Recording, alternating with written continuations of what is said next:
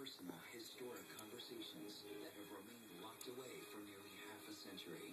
Until now, Jacqueline